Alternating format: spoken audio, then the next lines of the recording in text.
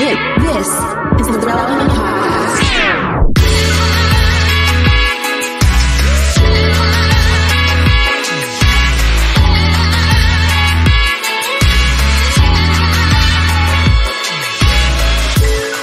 It's episode 996, and it's the Relevant Podcast. Here in Orlando, I'm your host, Cameron Strang, and joining me from Loverland, Virginia is Jesse Carey. Hello, hello. From Austin, Texas, author, speaker, podcaster, Jamie Ivey. Hey guys. And from just down the street in the very uncool part of the Dallas Metroplex, downtown Emily Brown. Hey y'all. what an intro. She's more on the Fort Worth side of things. Okay, we have a great show in store for you today. Coming up later, Ben Hastings. We love him. We love Seasons. We love all his his worship music. But I have a few things that we got to talk about here at the beginning of the show. Number one, I am wearing Virginia for Lovers, J- Virginia's mm-hmm. for Lovers T-shirt that I got at the beachfront souvenir shop next to the bongs and the katana blades. Number two, Jamie Ivey is recording from a TV tray.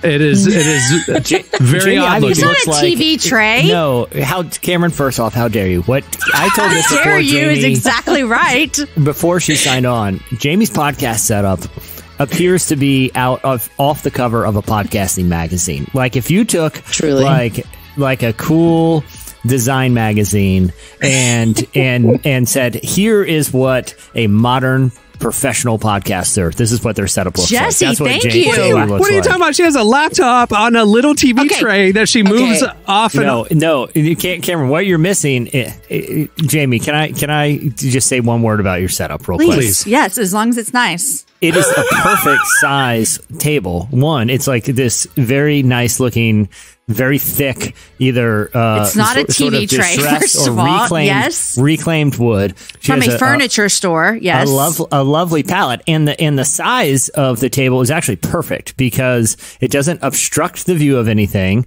it allows her to have mobility hold her beverages and very cleanly hold the laptop Do you know why? isn't- Do you know why the furniture store sells that? It slides under your couch like the It little does. feet, so Yeah, you can eat a dinner while you're watching TV on the couch. It is literally. or so you could work and have your podcast open when you're podcasting so I can That's have true. all my things I need for you guys. Thank you, Jesse, because this is how I do interviews for my real show. But I, my, this is a real show. That was bad Mm-hmm. for my podcast, but I don't have the table here. I just Jamie, sit and none look of at people these episodes have ever been released. This is just for our amusement. This is just an excuse to talk to you. yeah. Yeah, this is this is purely amusement. Well, can, can I make one quick note? 'Cause I feel like we breeze past the dinner tray thing. If that is a dinner tray, Which it's not. Which I'm I'm disputing it. I think it is a. Perf- it looks like it's custom made for this, Jamie. Thank And- you. But look how But it I will say slides. it's just sliding it under her chair. Like You're not helping, Jamie. What- But I will say this: if it is a dinner tray, dinner tray design and technology and aesthetics have come a long way since my grandparents' house because they were the only other people I knew that had dinner trays, Mm-hmm. and they were like little fold-up things that were kept beside the couch. Right. And, and it seems like when I was a kid and I would go over my grandparents' house, I was like, why doesn't every home just have a stack of dinner trays right in the living room? Mm-hmm. Right. Because my grandparents knew what was up. Right. And what was up is eating in front of the television.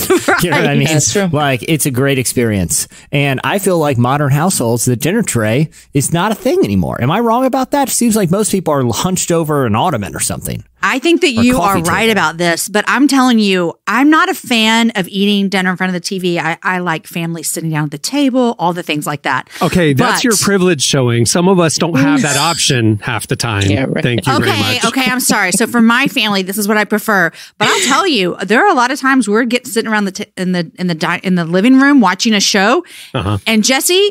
If I had some TV trays, it would be so mm-hmm. much easier to eat. Because yesterday I spilt my dinner all over the chair because I was trying to balance it on the side while I got up to get a napkin. So I'm I think TV trays need to have a comeback. My couch is is embarrassingly stained, and I have two small children, so it's we're not upgrading until you know they're old enough to Exactly. reliably not spill things.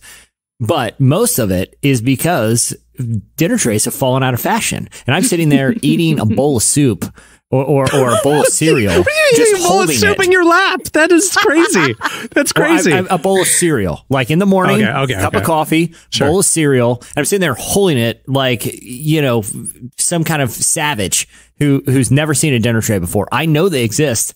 I c- I'm old enough to go buy one if I Yeah. wanted, and it would be a total game changer. But for some reason, I, I I constantly find myself either hunched over the coffee table or holding in my lap, and inevitably, to your point, Jamie, it spills all over the couch, and then you got a big soup Big mess on your hands. Yeah. I'm impressed because like most of the ones like West Elm, other furniture stores, the if they have a little tray like that that slides under the arm of the chair or couch, it's for drinks. They call it a little drink tray. Mm-hmm. It's smaller. Uh-huh. Jamie found the full size old school. You could put a plate of food on it.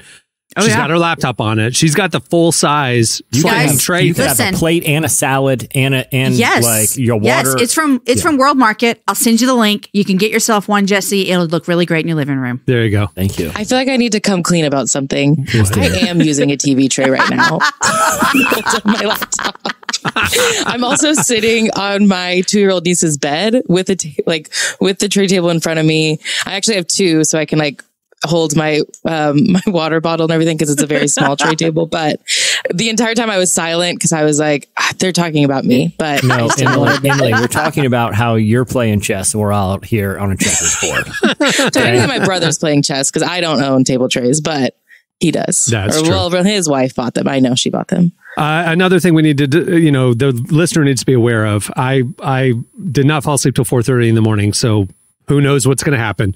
And Wow. lastly, Hold on, can, can we can we unpack that for a moment? Was it yeah, like what were you? was what? that yeah, Uh, were, were you hey, doing- whoa. were, Were you binge watching the Kardashians again? Or was it were you no, I've I've tried to do the thing of no social after nine, uh, so I'm not. I'm like trying to like turn things off and Yeah. turn my mind off. I mean, full transparency. We talked about this a couple of weeks ago. Like, what do you do, or how do you know when you're stressed out? I, I don't sleep, and my mind's going, and that's what was going on. I just couldn't turn my brain off last night.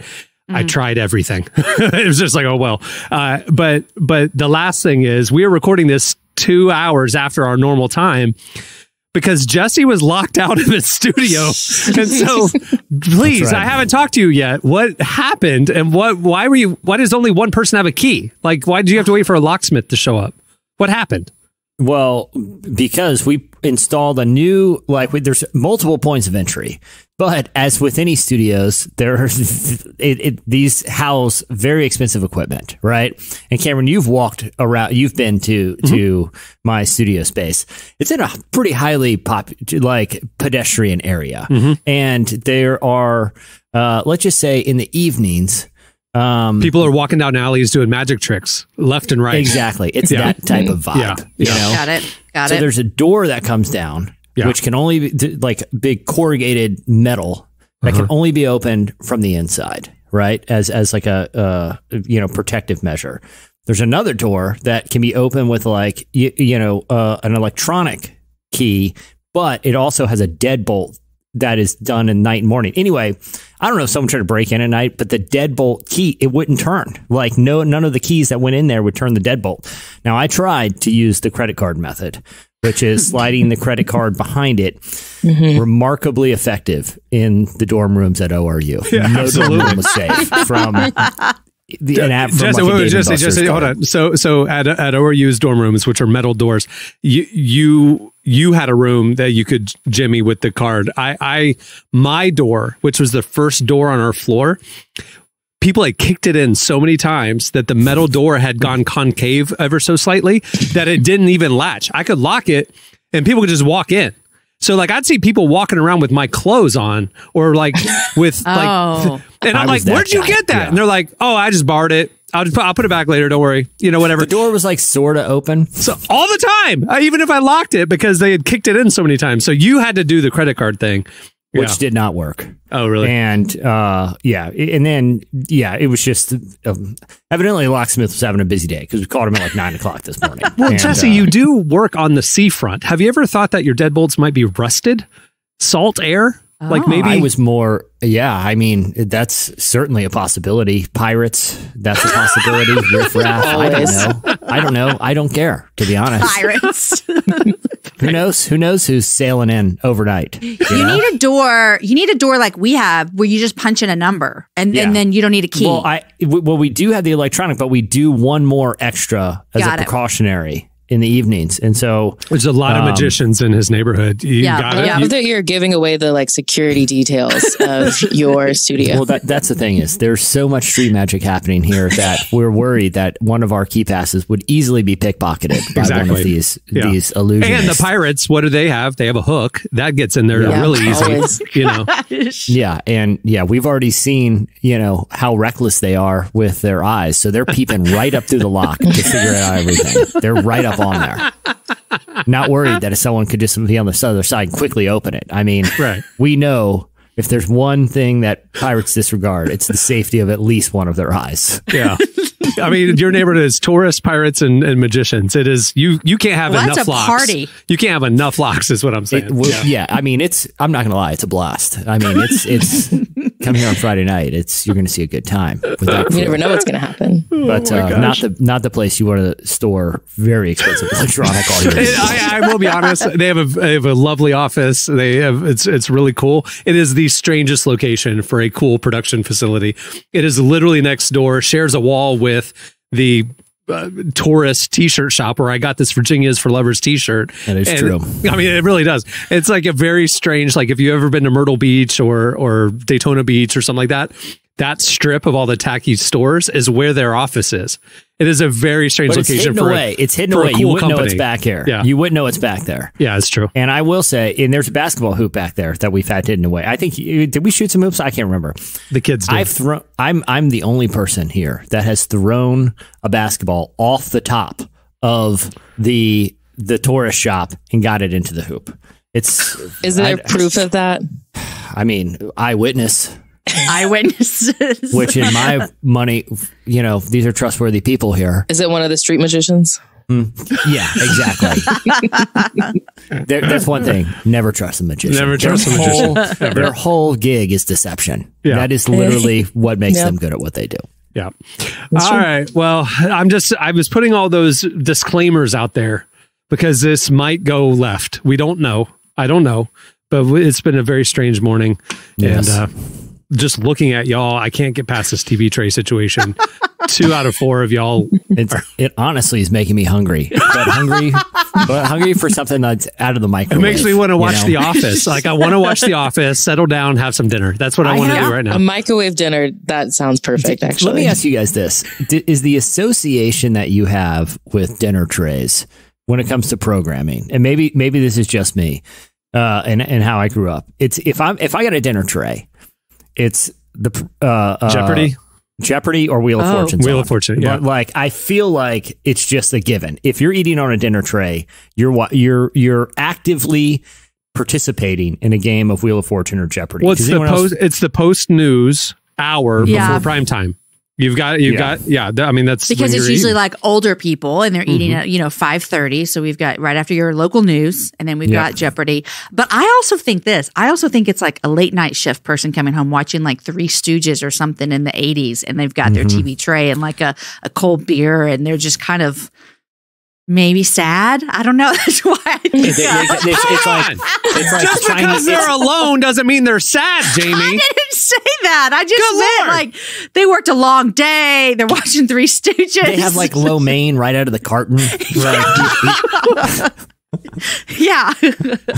I gotta be and honest. it's not though. like it's not like a craft beer. It's like a, a red. What is it? Blue ribbon beer or something. You know? yeah, yeah. PBR. Yeah, Yeah, It's- exactly. yeah, Bud Heavy. It's an ice cold Yes. Bud Heavy. some some some lo mein. That's uh, you're on the third round with. That is just the never ending carton of lo mein. you microwaved it, but it's not fully heated. Hold on. There's Can we? cold spot. Can, I'm going to out you, Emily. She is Oh, on no. day four of Okay. eating Mexican leftovers. Day four. Oh wow. On Okay. Sunday, she got some Chuy's from a wedding reception, and she's still eating it. That's how much Mexican Oh, if leftovers she brought does. it home from a, a reception, you brought like Well, the okay. big box home. Mm-hmm. You didn't go have fajitas for two. Yeah. Yeah, my brother's a wedding photographer and he always comes home with leftover food because people always get too much food for weddings. Yeah. And so I- who, he brought who, why, what photographer goes around and and No, takes it he home? didn't No, do no, it's that. like families Cameron, at the end are they're like, "Please take this. We have so take this, take this. Yeah. Okay. No, he's not. I mean, I wouldn't put it past him if he's asking, but I'm pretty sure that the By the way, thank are you, offering. thank you for the thousands of dollars you paid me to to capture some this event. but I noticed there's some enchiladas over there. Can I? Yeah. Listen, if you've had the beef enchiladas from Chuy's, you will eat them four days in a row. Okay, they're good. They probably And- get better. I feel like I feel like for me after day three on Mexican, I, I, I'm pushing it. Well, okay, it wait. becomes a plate Dude, of nachos at that point. The like cheese, whatever, the just cheese. put it on Yeah, some I don't trust the Chuy's cheese after about 48 hours. Like, I don't care how refrigerated it We is. scrape the cheese off and then put cheese, new cheese on, if that helps. You're scraping your food to make it edible. Listen, Emily. Cameron, not all of us can just have, you know, new food every day, right? so just maybe some of us Listen, have to it eat is a tray full of enchiladas. Okay, my Jamie, this is recipe- this oh, is Oh, the this tr- I is thought the it was most fajita meat. This is the most bachelor thing I will ever admit publicly is I forgot to get groceries, right? And so I this weekend I didn't have Cohen, so I was just there. I was here at the house. And I didn't feel like leaving. I didn't feel like ordering anything. So I'm just like, I have stuff. I can figure this out. I emptied out my fridge and my freezer. I have no food. I ate for dinner one night Cheez Its, scrambled eggs, because I had two eggs left, oh, Cameron. and some string cheese. And so like like literally like I I have no yeah, so for me uh, don't be talking about my fresh food every day. Um I do not want to hear any judgment Yeah. when you're eating that. And I am lightly scraping off some cheese to put new cheese on. Okay. That's called a gourmet meal. yeah. And it's also called being frugal. there you go. My record, my record for one is is for one meal that I've extended is four. There's a there's a deli by us that serves comically large pastrami sandwiches. You know, that lasted me four meals one time. One open faced pastrami was was straight up four meals. Did you at- like at take this it home and intentionally like slice it into quarters to like make them normal size meals or is it just I got I ordered it at the restaurant and was thinking I'm just going to plow through this thing. I learned my lesson about six Okay, bites. in. that's insane. Yeah, I just sent you guys That- an image. Yeah. That has to be a pound Oh, it's of easily just pastrami. easily. It's it's more than anyone could. It makes my heart hurt looking at it. It was. Hey, I'll say this: great four meals. See? Well, moving the show along. Tyler's going to join us. Stay tuned up next for Relevant Buzz.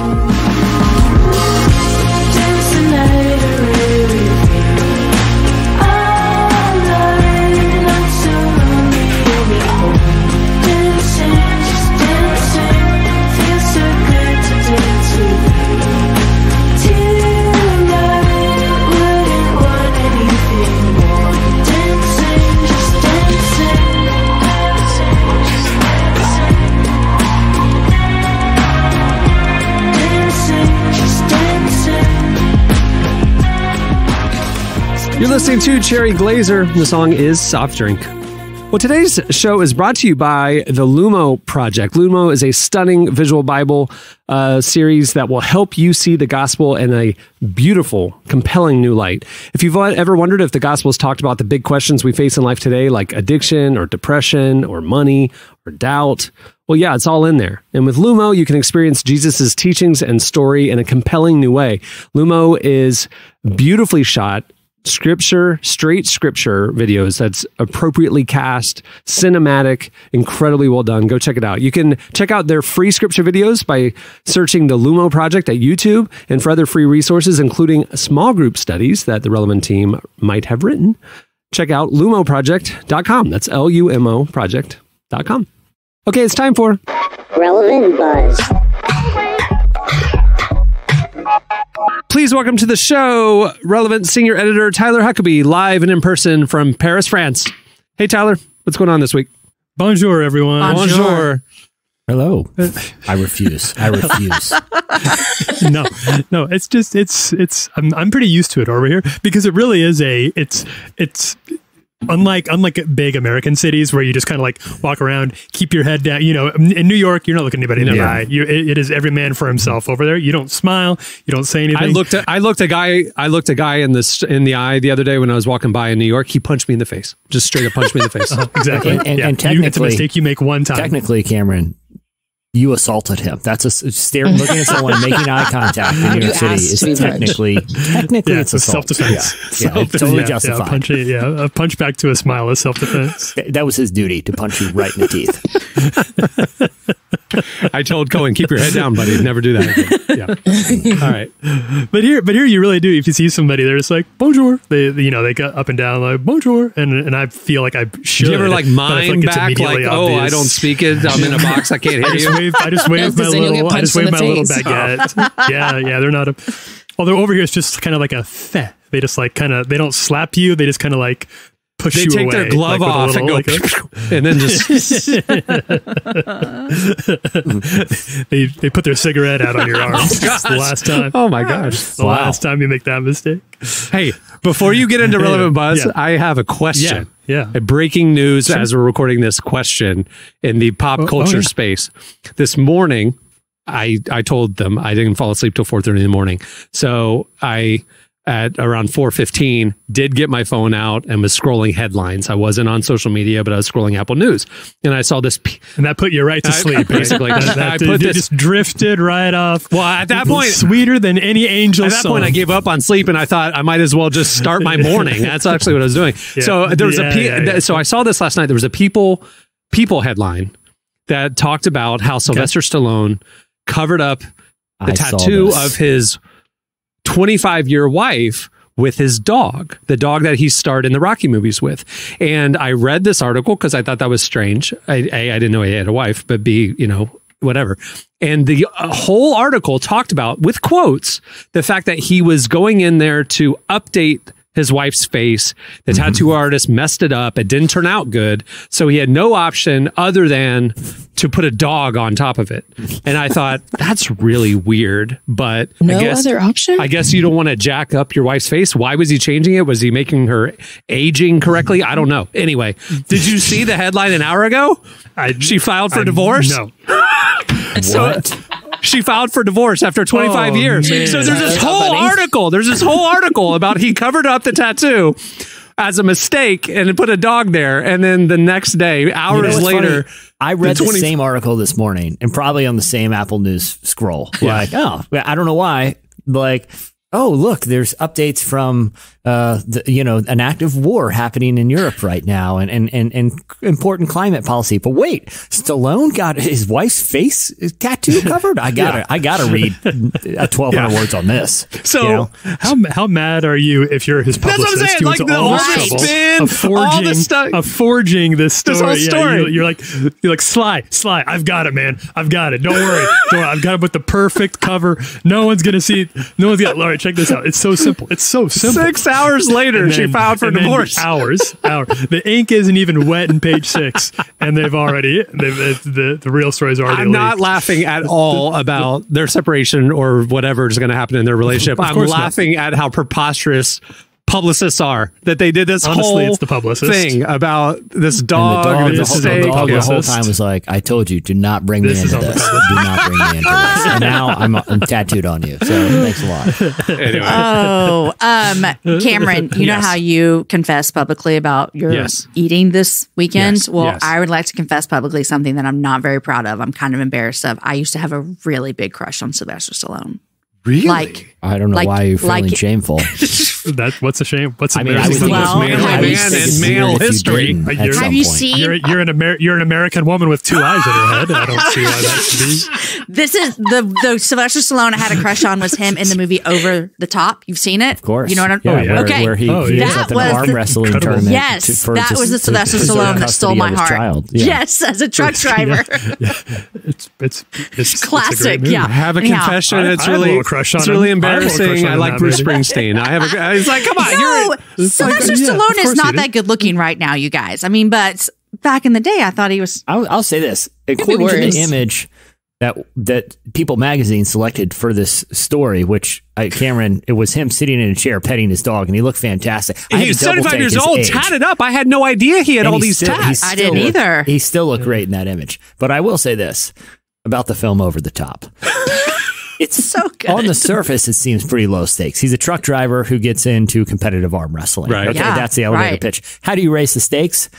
It's arm wrestling for custody of his own son. Okay, so he figured it out. You know, So I think good. Stallone has an Oscar for screenwriting. Tyler, is that true? Did he? Did, I've uh, Rocky. over the top? Yeah, Rocky. No, for Oh, for Rocky. Rocky. No, for I'm just Rocky. kidding. You don't question Yeah, the man's instinct. He's an Yeah. Oscar-winning screenwriter. Oh my gosh. Remember, he would turn that hat credit, around. He would turn that hat around, and that's when you knew it was about to go down with the arm wrestling. Yeah, and, but but but like he went from like boxing, y- you know, where where a- a- and and boxing, not just boxing movies, but boxing movies where the fate of the free world, like he's going behind the Iron Curtain on Christmas Day. Yeah, To, Yeah. to, to fight like Yeah. a, a Soviet robot, you know, very high stakes. You know, people are dying in the ring regularly in the Rocky universe. To you know, retroactively winning the both the Cold War and the Vietnam War uh, in in Rambo. Oh, that's to The stakes That's- of arm wrestling. I love was, it- I could see why it didn't work. What's the writer's room where they're like, okay, we've done boxing. Uh, what, what what's some other fighting? Well, well, what if we did like arm wrestling? I don't know. What if we made like an underground arm wrestling ring? Yeah, I don't know. How do we raise the stakes? Can I ask? I never seen the movie. How did his son's custody get put on the line with an arm wrestling It's a match? fair question. It's a fair question. it was money. Was it money? I, I, th- I, I, it's been so long since been I've so long. seen or thought about Yeah. the film Over the Top. Yeah. I would Jamie have to- watches this it might every need to be Friday like night. a piece of relevant buzz. yeah, this might need to be a piece of relevant buzz. When Jamie can't sleep at 4:30, she puts in Over the Top. she puts on a backwards hat, grabs some lo mein, gets the dinner tray out, Get the dinner tray gets out. it Bud Heavy, tall boy, fires up over the top. Oh gosh, That was like a great night. it does. does not sound like a bad Honestly, That yeah. Her husband wakes up like you're like, what are you doing? She's got the I'm tray like, shit, in this the is bed. the good part. She's I'm like, like, this is the the good part. He's about to win. He's about to win. I, I just I just canceled my plans for this evening. I'll tell you that, right? I know I know what I'm doing. I know what I'm doing.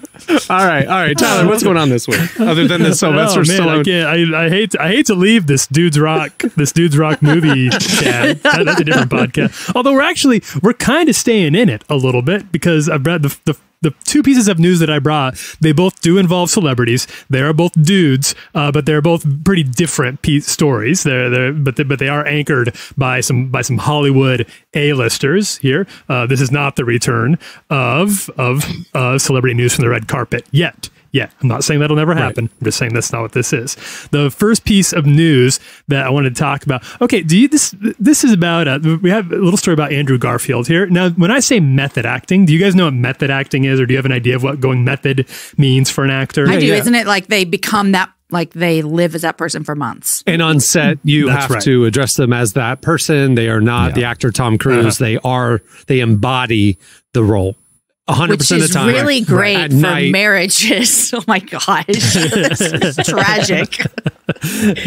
yeah, yeah. That's that's sort of the that's the basic idea. There's a lot to it, and I think a real actor would probably be like, "That's not what method is." But basically, that is the like popular understanding. The easiest way to put it is you don't break, you get into character, and you don't break character, and you're drawing on your own personal experiences so much that they become almost indistinguishable from the character that you're playing. So it kind of gets there's there's a lot of controversy about like, is this good or not? A lot of actors have kind of used it as an excuse to be kind of toxic personalities on set, uh, and they're like, "Well, I was just so deep into character that I had to be a total jerk to you." I'm sorry, uh, and that's something come up, came up in a conversation that Andrew Garfield was having with Marc Maron on the latest edition of his podcast, where he was talking about getting into character as Father Rodriguez, the uh, 17th century Jesuit priest who he played in Martin Scorsese's Silence. Now, this is kind of interesting, where he goes a little bit into what's it, what it was like to go full method uh, as an actor for Silence. Uh, he said that this involved uh, this involved for him six months, well, a year of regular fasting, just like the Jesuit priest would have been doing at the time. So he was not eating regularly. It involved abstaining from sex, which I think for a Hollywood celebrity, any amount of time doing that is probably fairly notable. And uh, it also involved studying Catholicism under uh, Father James Martin, the Jesuit priest who we've had on Relevant many times. He's a well well-known author, and and uh, he talked a lot about how much of an impact that has on him. And he said he's kind of hinted at this before, even in interviews with us. He's talked about it, but uh, he also in this went a little bit deeper than he has before about the impact that it had on him. Um, he said uh, he said this was really very cool i had some pretty wild trippy experiences i connected with father rodrigo so much because he was always he seems to be always on the knife's edge between faith and doubt. He understood that the opposite of doubt isn't certainty, and that living with doubt is just as much a part of living with faith as faith itself, which I thought was a pretty mm-hmm. in depth and nuanced understanding of faith for someone to pick up for a Hollywood actor to pick up from the met- from doing method acting for this movie for the silence movie. That's crazy. That's He's done really a lot of roles in the last few years around faith. I mean, he did Jim Yeah. Bakker. He seems He yeah. did uh, the Uh-huh. Mormon, you know, limited series. Oh yeah, under the banner, of banner, heaven. yeah. Yeah, yeah, he did the under the banner of heaven show. Uh, and then obviously he he did this silence movie, and it, it is interesting. He seems to have an interest in it. He stays a little he bit, did. He did Spider Man, where they did the multiverse, which is the spirit realm, but and so he Ooh, went to heaven and Uh-huh. back. Oh wow. Right? And sometimes superheroes part of the die and come back. And Yeah, the that's- resurrections and in that know, scene where he Jesus- fell, yeah, that's like he was on the cross, It's and then he was yeah. brought back. Superman, Yeah. but yeah, but it, you know they're all kind of the same. Yeah, so so that I must have fell asleep in that part. Tyler, all that is extremely impressive. Um, Extremely. But I once ate the same pastrami sandwich for three straight days. So we're all we all do cool things in life, and not all of us, you know. I go made on a TV talking entire meal out of two eggs, some Cheez-Its, and a little string cheese thing. I don't know if I'm it a meal. It was the same open faced pastrami sandwich. And let me tell you, the base layer of rye bread getting pretty soggy by day three, but I powered through. Okay. Ugh, So rough. good for You didn't want to Garfield. toast it. You didn't want to take it apart, deconstruct, and then reconstruct it, because that would have Oh. brought that would have refreshed wow. it. It was already sort go. of congealing Now we're cooking. That's into the sermon. bottom layer of pastrami at that point. Yeah. Jesse, did you get it? Do you feel like you have a new understanding of your relationship with God Because after of the that? pastrami? did that did that open up some new avenues to your understanding of faith and I doubt? would say anytime someone pushes themselves and goes through a season of trials, yes. So, so the answer is yes. Sure. And oh when you're when you're beyond what you can do in your own strength, you need That's to rely on God. So I mean, that was a spiritual journey for him over mm-hmm. those three days. Mm-hmm. It well, really and it's was. almost like you had mm-hmm. that little pastrami sandwich, and it just kept multiplying over the was. days. This is and a the- loaves it and fishes. Four Exactly. days, Yeah. yes. Exactly. Wow. One person. Yeah. I, Yeah. I, didn't, I didn't want to say the word the word miraculous. I think that gets overused, but this was the same open faced pastrami sandwich, okay? And it was the only thing I was eating for major meals. Now breakfast, I'd still have toaster strudel or something, but I'm course. talking lunch and dinner. I was plowing through the pastram, the open face, and I was not going I, to let I it go think to you can use that miracle word. Day one was a breeze. Day one, no problem at all. No problem. I needed to start relying on strength that was not my own by halfway by dinner time day two because I knew I had another dinner and lunch ahead of me, and here I am today. So oh Looked my back and saw one set of footprints. one set of footprints in the sand. in the, in the kitchen, in the carpet. going the carpet going to the kitchen and back. There was only one set of footprints. It was four weird. o'clock day Yeah, day, day three, part of my he life. was carrying me. So.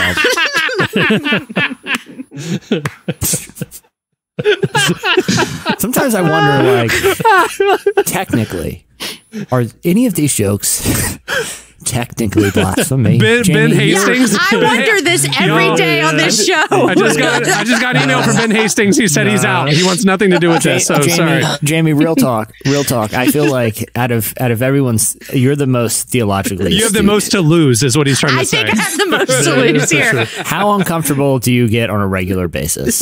This is what I tell you all the time. I just laugh, but I, I'm not going to comment. So you play the tape. I didn't say a word. I didn't say a word. Yeah, Your, that's right. your, Play the en- tape. Your your endorsement of these comments is implicit by your laughter. Yeah. You need, Yeah.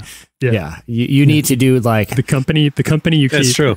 show me your friends. I'll show you your future. That's There all I'm is. saying. It's easier for us There to pull you down than for you to pull us up. Yeah, Jamie. I know. this is an audio medium. The audio, so i- at least some exasperation. Like, Not again. Oh, man, You guys. Come on now, you guys. All right, what else is going on, Tyler? Oh. All right, so we're going to go to the other end. This is another piece of celebrity news, and this is sort of a, a Goofus and Gallant situation. I don't mean to. I'm not saying anything bad about either of these actors' performances or work or anything like this, but this is an interesting story that I think is sort of indicative of how a lot of justice and charity work often goes. We're going to be talking about an actor named Brad Pitt. Now, Brad Pitt. He just says not celebrity You news, Brad- but it's about you know Brad, Pitt. it is about it is about Brad Pitt, but it's not about any of the movies that he's been in. He's he's just un, he became sort of unfortunately the face of this particular piece of news. Um, so back a few years after Hurricane Katrina, Brad Pitt and his foundation, it's called the Make It Right Foundation, which is sort of ironic, as we'll see soon. Brad Pitt's and the Make It Right Foundation decided to offer 107 homes to people who had lost their homes in Katrina and the storms. And these were going to be, this was a very, very splashy piece of news at the time. It was very, very exciting. Uh, they had some really big name architects Spla- who were involved in these. Hey, these were going to be. That was insensitive. You saying that it was splashy around Katrina. it was, it was, Oh, I said flashy. Splash. Flashy. Flashy. I thought you said splashy. Flashy. Okay. Yeah, flashy. Energy of energy efficient homes. So they were going to look cool. They were going to be very, very affordable. We were talking. Don't shake your head at me, Jesse. Don't shake your head. I told you I didn't go to bed till four thirty. no, I, I was yeah too soon, too soon. no, I remember covering this back in the day, and I remember the images that I think the the only reason I have such a vivid memory of this is because back in the day we did a front matter piece, and I remember uh, we had to contact the Make It Right Foundation. I believe it was Make It Right Foundation that sent us these high res, cool images of Yeah. of They're the really plans looking. for these homes. I, and I remember reviewing them. I mean, this is probably yeah, I don't know, ten years ago. It was a long time but, ago. But I remember yeah. thinking that it sounded like a cool initiative, but very, very ambitious. It was it was very and now you're kind of getting you're kind of you're you're you're getting into where we find ourselves at today. So they they they did they built these homes and they gave them at a very very affordable price to people who had lost their homes in Katrina, but almost immediately uh, problems started to show Oh, up no. in these homes and how they've been manufactured. Uh, this is from I'm quoting from Vanity Fair here: leaks that cause rot, structural damage and mold, faulty heating, cooling, and ventilation systems, electrical malfunctions, bad plumbing. Within the first ten years, two of the homes had to be fully torn down, and an indeterminate number have since been completely boarded up and abandoned because they just wasn't worth they weren't worth sticking around in these homes anymore. Um, so it's so since then there's been a lot of lawsuits that have gotten thrown around. Honestly, kind of every which way. Make It Right Foundation is blaming the architects. Architects are blaming the lumber manufacturers. Lumber manufacturers are blaming city officials. And you know there was a lot of play. There's a lot of like red tape and avenues all this had to go through, and it sounds like long story short, a lot of different balls were dropped. So the Make It Right Foundation and Brad Pitt have been sued, and they ended up settling just this week. It was revealed to the tune of twenty point five million dollars. It's going to be divvied out into twenty five thousand dollars to everybody who got their home. They will all be eligible for twenty five thousand dollars to reimburse them for the repairs that they've had to do over the last few years. Uh, and the Make It Right Foundation, I guess, to their credit, is is kind of owning this. They're saying there was a lot of mistakes. We made mistakes. Other people made mistakes, but uh, but and this is our attempt to make it right. But it also just kind of has to show, like you said, Jesse. Doing this level of work is tough. Like it takes a lot of time. It takes a lot of energy, and the bigger you go, and I think a lot of people who have been in our audience, and, and even here on this podcast, who've been involved in Christian organizations that have that are, have very well intentioned, big dreams for what their charity work could end up looking like, uh, could end up with a having bitten off a lot more than they can chew, and eventually maybe even make things worse than they uh, already were. Well, because these homes, it wasn't, they weren't just replacing homes that had been destroyed or, or building. These were non-conventional building methods, and, Yeah, and, and yeah. the goal was to have them more environmentally sustainable, which which I think it seems like very well intentioned, but yeah, I think they were sort of it seems to be victims of their own ambitions because they weren't even they weren't just trying to replace a neighborhood that had been almost completely wiped out. I think this was in was the ninth ward. These homes uh, Yeah, that was it was the ninth ward. That's and, right. You know, an area uh, of the the city that was affected. You know, most, very yeah. dramatically. Yeah. Um, it wasn't just replacing homes with, like I said, with conventional or even coastal construction methods, which can withstand you know storms it was i mean you know everything about it was some sort of new innovation It's like the future of home building yeah in the yeah in hmm. impoverished areas and stuff. I have a question though. You said what was the settlement? Twenty something million? 25. Twenty point Oh, five, 20. yeah, twenty point five. Twenty mil. point five million. And you said every homeowner gets 25,000. 25,000 times Yeah, and that 107 people is 20 or 2.7 million dollars. So where, who's getting the other 18 million? there's going they're going to be reimbursed for the for for housing, and then a lot of that is also going to end up going to attorney fees. Wow. That's crazy. So That's the victims That is get 10% of the final settlement. That is insane. Uh-huh. Which is what the, which is more than they asked for actually. The the it is in the because there were only six only six homeowners were actually named in the lawsuit originally, uh, and this is them taking that and doing and actually giving reparations to everybody. So was all involved. the rest. This sounds this sounds like a Saul Goodman case to me. That's it does sound like a better call It Saul really does. situation. and, and it and it is a you know I'm not trying to besmirch anybody's intentions here. I think they had good intentions, but like is you know if you're trying to if if you're maybe maybe you don't want to test out all of your home building innovations on people who had just lost everything. Uh, some of the complaints that ended up coming through were these homes looked really cool and they were energy efficient, but they weren't really built for New Orleans summers. Yeah. For you know for hurricane season, you know it's just not every just because something looks cool doesn't mean it's ready for prime time. Especially not in a place like Louisiana where they have a lot of inclement weather that these architects weren't super familiar with when they built. That's them. crazy. It's sad. This goes to show, like, it, you know, just because somebody has a great idea to help, you know, maybe don't go out on your own and try to do it, you know, like maybe partner with somebody who's been there, maybe partner with Yeah. locals, Yeah. raise people up Uh, who have agency in that lo- local area. I mean, Habitat for Humanity or other Right, housing I was thinking of, organizations are there. They know the building codes, they know what to do. Maybe resource them and partner with them to propel their work versus starting over on your own. I mean, Yeah. this is something And we've don't use like vulnerable people to for a guinea pig test because I think that's like we said like that was kind of the hard part too is these people were they needed a home already you know if this plan didn't work out it's not like they had another place to go like Right. they they needed this one Yeah. All right. That'll do it for Relevant Buzz. Make sure to check in relevantmagazine.com every day where we're covering the intersection of faith, culture, and justice. Uh, follow us on all the socials for the latest. Thanks, Tyler. Thanks everybody. All right. Stay tuned. Up next, Ben Hastings joins us. Uh, can somebody get him? I think he wants to quit the episode, but can somebody go grab him? I, actually, I'm, I'm I'm on my way out, but I I I grabbed him on the way out the door. Good. He is tied up in a chair. I'll roll him in. Yeah. Put a TV tray in front of him. It's like set be up real fine. nice, like Jamie, so we can. yeah with pastrami sandwich Yeah. we'll be good to He's go telling He'll me be good he's to telling me he'll talk, he'll do anything, he'll say anything. So I think he'll have a good interview. You can no holds barred. All right. Stay tuned. I think it might be time to break some habits, be a little less dramatic. The past was only practice.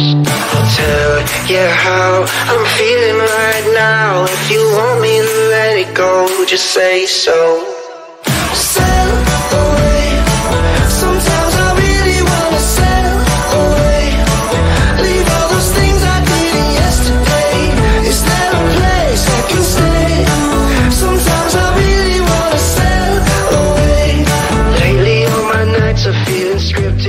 listening to lovelytheband. The song is Sail Away. Well, today's show is brought to you by World Vision. Women and girls in poverty face more obstacles simply because they're born female. But World Vision knows that when girls' God given potential is unleashed, extreme poverty doesn't stand a chance. Children are better cared for, families are stronger, and communities are more prosperous. And with your help, a girl can grow stronger, be healthier, go to school, learn her value, marry when she wants and who she wants, and even start a business. To sponsor a girl today, go to worldvision.org slash strong girl. That's worldvision.org slash strong girl. I'm telling you, World Vision does amazing work. I've seen it around the world, sustainably changing lives. Awesome organization. Go support them. Worldvision.org slash strong girl. Where our guest today is Ben Hastings. He's a songwriter and worship artist from Dublin, Ireland. You've heard him as part of Hillsong United on songs like So Will I and Highlands, Song of Ascent. Now he's moved to LA where he's working on new music, collaborating with the likes of Judah and the Lion to write songs about the messier parts of faith. Our very own Tyler Huckabee talked to him about how he learned to write worship music from the heart, why he thinks we need to start being more honest in what we sing to God, and how we can celebrate God even in the midst of doubt. Here's our conversation with Ben Hastings.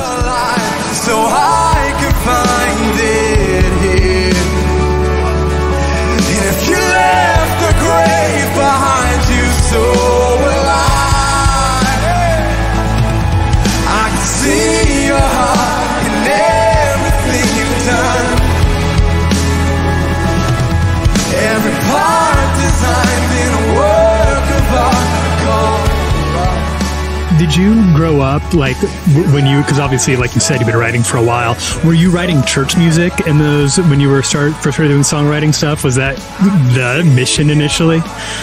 No, I mean that's a good question. I grew up. Um, I grew up in Salvation Army back in Ireland. Okay.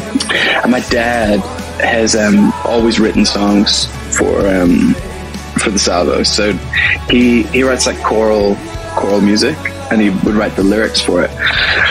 And um, he works with this other guy in in London. He kind of writes the music. They come together, and um, I kind of grew up around that, just thinking that was kind of like a normal like a normal thing to do.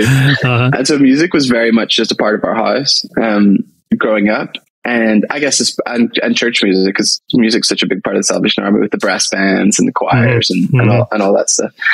But when I kind of got my first taste of writing, I was trying to write like I don't know, like fourteen year old like love brick kind of Sure. pop, pop like indie pop kind of songs. And I did that for for a long time. I did like a I was in an indie band back in Ireland, and that was kind of more the direction I was going in. But when I was um when I was sixteen, I uh, I stumbled across this United CD in a bookshop, and we were on holiday in America, and I I went into like a it wasn't even like a Christian store. It was like, you know, when CD shops were a thing, like just a record store. I went in, I saw the cover, I thought it looked cool. And I, so I bought it, not really knowing anything about it. Just And sight then- unseen, just a total cool Yeah. cover. Let's get give it a shot. Yeah. Completely. It, it was, uh, Look to You, that record. Okay. Yeah. Uh-huh. And yeah, so I listened to that and just fell in love with the music. And so I think that was probably a part of the, what pushed me to start kind of writing kind of God focused kind of songs are spiritual kind of music. And so it's kind of cool now that, you know, all those guys are my friends and we kind of Super cool. yeah. Super cool. Um, and we do kind of do that for, for fun now. I think the reason you often see these journeys of what we'll call that deconstruction uh, is go go awry or, or go too far, end up with people just walking away altogether and being like, "Never mind, I don't want anything to do with this." Is because we've had so few models. We've had nobody's taught us how to do it. We we didn't. You're often doing it very very alone uh, as a with, mm-hmm. with, without the community that you oftentimes were close to. Right. So having something, uh, having art music writing that can sort of Mm. chart that for you and let them know that they're not alone in this. I think that's very important. It's been it's really been missing and uh and Sure. so I'm glad to hear I'm glad to hear that you're doing it and I'm glad to hear that you're you're doing it sort of in concert with more positive songs, songs of affirmation. Because at least in my life, it's the deconstruction process is really like chapters in a book where I'm like, now I'm constructing, now I'm deconstructing, now Right. I'm reconstructing. It's more like it goes into it's almost like a garden, you know. Some days this part is dying, but this part is doing really well. other- Yeah. You know what I mean? Does that make sense? So I think this feels yeah. what you're what you're doing feels way more honest and and true to the experience. Sure, I appreciate that. I there was a there was a point when um so Chris, who's not my manager, he would call me like about a year ago before oh no, be two years ago now, before he was my manager, and would just call me all the time, being like, "What are you doing with music? Like, Mhm. you need to really like you need to make this record. I've been you know, I was working on a record, and um he was like, bro. You just need to like put this out there. You need to do it, and I'd be like, I I know I do, but if I release this record now, it is going to be the most depressing thing that anybody has ever heard. And I, like almost like um like you know when Coldplay did Ghost Stories, and there was Mhm. obviously like a really vulnerable like a, I guess it had Sky Full of Stars, which really sort of pulled it into like a positive viable thing. But um aside from that, it's so amazingly heartbreaking, and I love that. I genuinely Uh-huh. love that Uh-huh. that record. But I was like, I don't know if I want to make that my first record. You know, my first solo record. I just come out Uh-huh. and I'm like, yeah, yeah. and so I really fought in the midst of it for like, I was like, no matter how long this takes, I just got to find the way to see the, the light again, like see the positive. It doesn't mean everything has to be tied up with a bow because I don't think that's going to happen. But I just need to know that like this isn't going to kill me, essentially. Mhm. I need to be able to, I need to be able to say that. Yeah. And so, um, yeah, anyway, I really wanted to find that in my, in my music and in my album before I released it. And I think, I think I've done, I think I've done that. I don't know if I've, you know, yeah, I won't know until I look back on it in a few years to actually know, if, That's you true. know, what I, what I Oh, actually yeah. think about it. But That's true. at the minute, it feels like I've sort of, I at least have tried to paint a more rounded picture.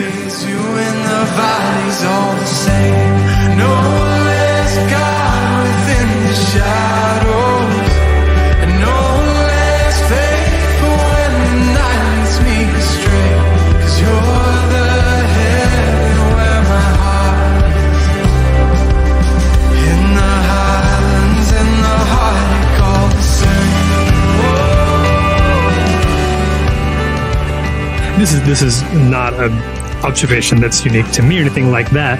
But if you're reading through the Psalms, you come across a great deal of those types of church music that are very, very open about not just doubt, but depression, despair, anxiety, things that are very, very human, but that just, but you don't really hear them on K-LOVE very often. And, uh, and that's, and that's something that I think a lot of people find very refreshing, particularly about the kind of music you've been doing. And I would say, particularly lately, the kind of music that you've been doing that does feel like it taps into something a little more authentic, sure, but I, I, don't mean to say that other people aren't being authentic when they don't get into that. But it's just a different side of the spiritual journey that doesn't right. usually have a place in church music. Used to, yeah. but had, but it's been a while. It, it, it, kind of fell, it kind of fell away there for a while, and I, I think it's helpful because it normalizes that. You know, you're giving people permission the same way that lady gave you permission to just kind of what you've got here is is yeah. something that maybe needs to be expressed. Completely, I I think you're entirely right because I I do think there's areas of it that are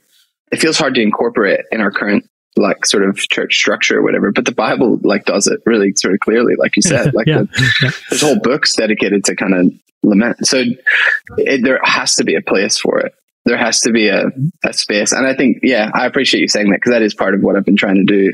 And not necessarily, it's not like I set out to be like, oh, there's a gap in the in the market or there's a gap in the sure in the whatever. I'm gonna no, fill no, that. It it was more like, oh, I'm actually really feeling this and I don't know what to do about it. And I, I, I there was a, there's been a lot of like, can I say this? Like, should I, is this going to like, yeah. um, yeah. is this going to give me too much kickback? Is this like a lot of that? And my ultimate thing was like, well, it is what it is. Like if I'm feeling it, surely other people are feeling this too. And I think what, what has maybe inspired me as a part of that journey is trying to, because I think it's really easy once you get into that place of, um, you know, like you, you have this worldview, right? And the the it all collapses in on itself, and you like kind of you know you, you, the ice that you're standing on cracks, and you fall underneath into this abyss of chaos. Essentially, like you're like I don't know what I believe anymore. I don't know who I am. These frameworks that that have held me together are no longer working. Right. And right.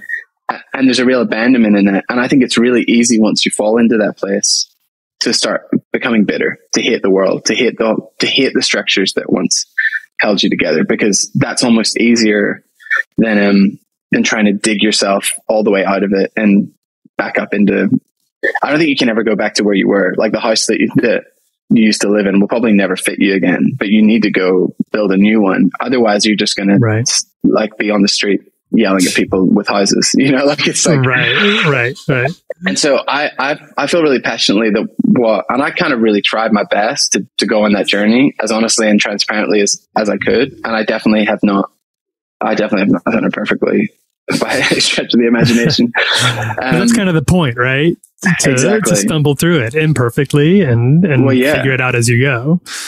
Completely. So a lot of this record I'm doing is almost me like documenting that that process, and you can even see in it the the almost um like the two sides of mm. of me fighting with each other because you have this one song that's like quite I mean, positive and set up against this other song that feels entirely cynical and kind of like the Psalms, I guess. You're like, how do these two things exist mm.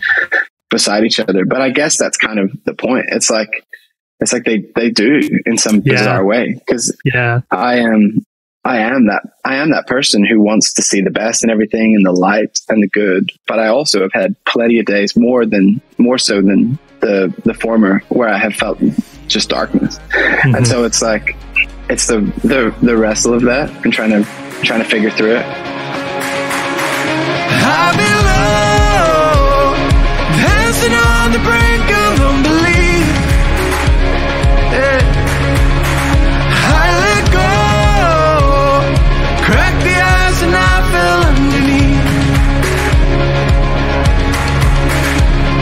It feels like a blessing falling on me. Ooh, now it feels like the blessing keep falling on me. They keep falling. They keep falling. That was Benjamin Hastings. Check out his new single, Feels Like a Blessing, wherever you get your music. And stay tuned. Up next, it's your feedback. Motel boy.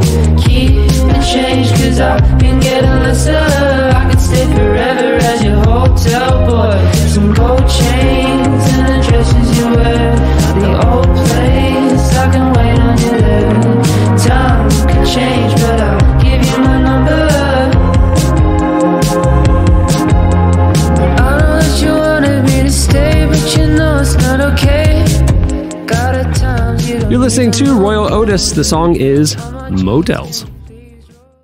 Okay, it's time for your feedback. Last week we got talking. What were we talking about? Awkward appointments. What what awkward appointment was it? Your dentist? I think Gabs had an awkward appointment or something. Or Jesse's hair cut. Oh, just his haircut, that's a what it barber, was. That was a little, little, A little- little, too animated. A little much. yeah. yeah. So we asked you for your awkward appointment experiences. You hit us up on Twitter at Relevant Podcast, and here's a few of our favorites. Um, I like this one from uh, Angela Green, Leafs chick forever, maybe. Uh, she says, I had to go to a hospital, have surgery to remove my wisdom teeth a couple weeks after getting braces. Was told to strip naked and put on a hospital robe. Still confused as to why I couldn't wear underwear while they worked my mouth. Creepy. I think you need to ask some more questions. Well, I, I will say Sounds like this: I've flag. I have met Angela. I met her at a conference. Oh. She's been a longtime listener. She's she lives in Canada, so maybe up there in Canada, their I hospitals know. have different rules. She's a big Toronto fan, Toronto sports fan. Well- I do know that about her. the Canadian healthcare maybe needs to look into that because Wow. I think you should be able to keep your clothes on for that. When I got my wisdom teeth removed, nothing came off. Nothing. Fully No, clothed. Except the wisdom teeth. either. Except the wisdom teeth. The Those wisdom are the only things Yeah. that left my body. Yeah. Kara Fleener says she went with her boyfriend to get vaccines for a trip. He started getting lightheaded and passing out. So she went over to hold his hand. Then she got lightheaded and started passing out. The doctor had to catch her before she collapsed. Sure, they had a laugh when they left. Yeah. That's pretty bad. I'm going to read Anna's, you guys. I'm sorry. This is so. All the women in the world are feeling this discomfort that I'm about to say out loud here. Anna said she works at a home improvement store. Awesome. She said, let's just say having a gynecologist appointment and an appointment with the same gynecologist to help him in finishing out his new home in the same week. Awkward. Oh, no. Oh. Oh, no. Anna. So Oh, uncomfortable. no. No. Yeah. That, that seems not ideal. It's like when you were a kid and you saw your teacher out in public and it was like really disorienting. But this is also worse because Way worse. it's your gynecologist. I, you, you need to just have that doctor be in another town. You just drive. I'm, I go once a year. hours. I'm going to drive a couple hours to go see him. We're good to go. Okay, I I feel like I if I don't say this to you guys, some of my friends are going to listen and be like, "Why didn't you tell them?" Okay, Okay. Oh no. this is oh, this no. Here we go. this is Oh, very no. personal. I can't believe I'm telling the whole world this. Oh, but no. if we could just keep it between the five of us, Okay. I just need y'all. Okay. Just us girls. What's going on? So, listen, I feel the uncomfortableness for Anna. That is weird. But you guys, my doctor that I see once a year, I'm very past birthing years. I'm not having babies once a year, just taking care of my body. Um, he goes to our church. He's an elder at our church, and he's one of my husband's best friends. no. Jamie, I do not know how you do that. I, No. I literally listen, listen, I just say You're this. a is what I say. strong woman. Emily, I say it's the worst 15 minutes of my entire year. But here's my reasoning, okay? if I need someone to tell me that I have cancer, I want it to come from someone that loves me. That's that is the only reason that I can still handle this awkward situation. Does he like chit Okay. chat and tell you about something he and Aaron were talking about that week? and, Listen, like- I'm telling you, it's the worst 15 minutes of Oh my, my year. gosh, of however I- many however many minutes are in a year. These are the 15 that I want to have an outer body experience. I'm telling you, drive three hours. You need to just change to a guy in Houston. That's it. Just I'm sorry, but like, like I just feel like I, I see it's uncomfortable. I made everybody on the show uncomfortable. I oh yeah, apologize. everything's just Yeah, going I to a apologize. screeching halt. I have no idea what to do right now. Corey, I mean- take it out. This was just a little girl chat. This was a little I'll girl give- chat. I'll give Rachel's anecdote here, but I think we're all just kind of trying to work ourselves out of stunned silence. Now. Jesse, I, I'm going to go get some pastrami. Hold on, I'll be right back. R- R- Rachel said, I had an eye appointment, got everything done, and got the glasses. Problem was, bad, pre- bad prescription. It wasn't right. Did I call or change to get it fixed? No question mark. Why? Anxiety. Rachel, I. i- This isn't ordering like uh, you know a, a, a, a, a steak medium and they brought you well done and you're like you know I'll power through I don't want to I don't want to create the awkwardness here I feel like this is something you should probably address with your optometrist, or else you're going to incur real damage Yeah. to your eyes here. Yeah, I agree. It's awkward, but hey, it happens. You know. I'm pretty sure I've done this before. I had to do that on my last appointment. I had to go back a few days later and be like, these don't work. And then they changed it. So No, I've been the person where I'm pretty sure my prescription was just like a little bit off. And I just said, mm, my eyes will adjust and just Oh. k- went back the next year. Well, my eyes are already bad anyways. You know what's, it's fine. to to confirm why you want to avoid the conflict, I called initially, and the lady on the phone was very curt with me. Like, how dare I impugn the hmm. integrity of the optometrist? She was telling me like it takes your eyes a few days. I was like, "Ma'am, I have had glasses for 20 years. I know the adjustment time. This is not that." You know, I'm trying to explain to her, "Don't talk to me like I'm a 12-year-old." She started she like yelled at me and then ended up at the end of this conversation hanging up on me. So, maybe avoid the conflict. Hmm. If Optometrists are finicky people. Finicky people. And that's why I'd rather just go blind before I tell my optometrist that they got my prescription wrong. Seems can't argue with the logic. Yeah. the weird thing, Canadian optometrists, you have to be naked for them to do the eye. eye exam. It's law. really, God. just really The weird. there. Canada is not on my move list. Very, Oh my very, gosh. very strange laws up there. All right, that'll do it for last week's. There's more where that came from. Go check it out. There's a really long thread. Uh, if you want to go, if you've got an hour and some popcorn, you just want to settle in. The involved, and yeah. Anyway, all right, it's time for this week's. Editorial question of the week. Hey. Okay, well, earlier in the show, we got talking about cuisine and how the Lord provides pastrami. And you know, like you can have an empty house and have no food, but you find a way. I mean, there's always something. So, what we want to know is your creative solutions. What do you eat when you have no food in the house? Like, what's the weirdest thing maybe you've put together? Maybe what's your go to? I need to go get groceries, but I haven't yet meal. Like, we want some tips here. So, you know, you got scrambled eggs, got some cheeses, you can make a meal, you know? So, we want to know the weirdest thing maybe you've done or your go to for when your pantry is bare. What do you eat? I feel like we should put meal in air quotes just because Right. I, I these have one be that meals. like a lot of people when I tell them this, they're like, "That sounds disgusting," and I make no apologies. Canned tuna, Oh no. Hmm. Old Bay, ramen. You got a nice little ramen bowl right there. What's Old Bay? Exactly. It's this weird spice that they do in Virginia. That's that a seasoning. The people in Oh, Virginia think I've everybody heard of knows what it. it is. I was up there and they're like, "How do you not know Old Bay?" I was like, "Because I'm not weird. What are you talking about, Old Bay?" Wait, why do I? I know what Old Bay is. I don't Oh, know I can see it right How here. can you It's a not know Old seasoning. Bay? Don't, I've never seen this See, before in my entire life. the thing life. about Virginians is they are they don't comprehend the fact that some people have never heard of Old Bay. It's shocking, shocking. Shocking.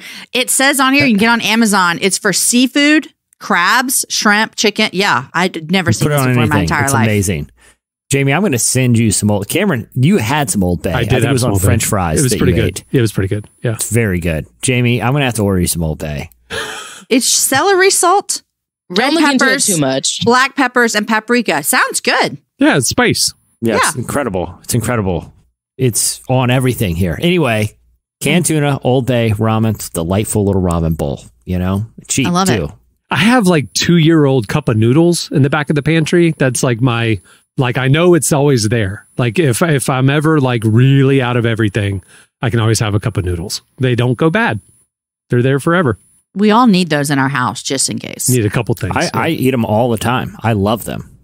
I What, love cup of noodles? I Really? love it. I eat them. Uh, you know, probably three or four a week. Jesse, do yourself a favor. You're you're pushing middle aged. Do yourself a favor and look at the sodium label on the back. It is it is a month and a half's worth of sodium in one cup of noodles. I I am okay with that. It's a sacrifice I'm willing to make.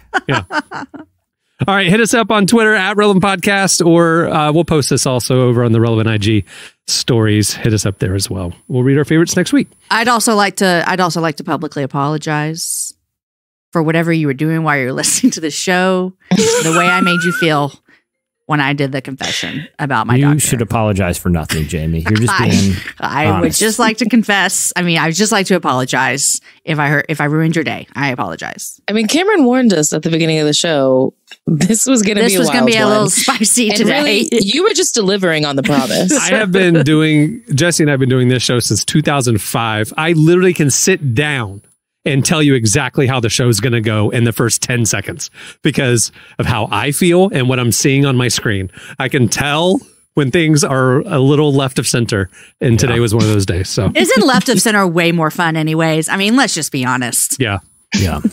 Usually, Great. until Ben Hastings quits on the show, and then we have no guest today. So glad that he stuck around. Appreciate it, Ben.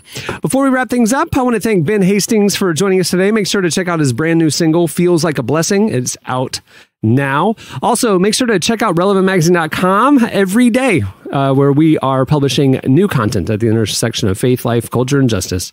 While you're there, sign up for Relevant Plus, our ad free subscription service, which gives you unlimited access and ad free viewing at relevantmagazine.com and ad free edition of this podcast released early, as well as an exclusive subscriber podcast each week and an ad-free enhanced edition of our digital magazine and more. Uh, plans start as low as two fifty a month, and we would love the support. It is the best way to experience our content. Go check it out, Relevant Plus at relevantmagazine.com. Also, if you haven't been to relevantstore.com in a while, go check it out. We got great merch, uh, some podcast fan stuff, um, magazine archives, and a lot more. Go check out relevantstore.com. And if you like our show, tell us. Uh, we'd love to hear your feedback on social media. Hit us up on Twitter at Relevant Podcast. You can also message us at the Relevant Magazine IG account. Um, also, wherever you listen, rate it and review it. Uh, those stars and those positive reviews help the algorithm, help other people discover it. If you don't like the show, why are you still listening? No, I'm kidding. All right. On that note, we'll wrap it up. I'm Cameron Strang. I'm Jesse Carey. I'm Jamie Ivey. I'm Emily Brown. We'll see you next time. Have a great week, everyone.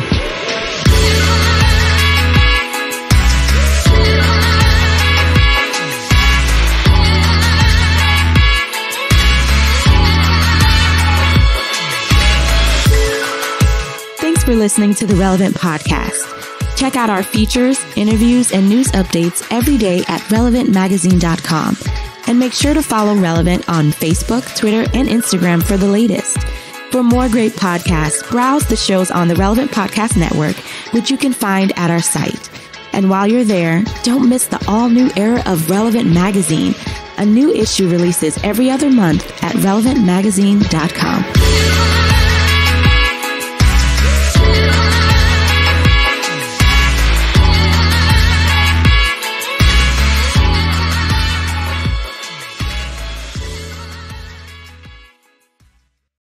It was already sort of congealing into the bottom layer of pastrami at that point.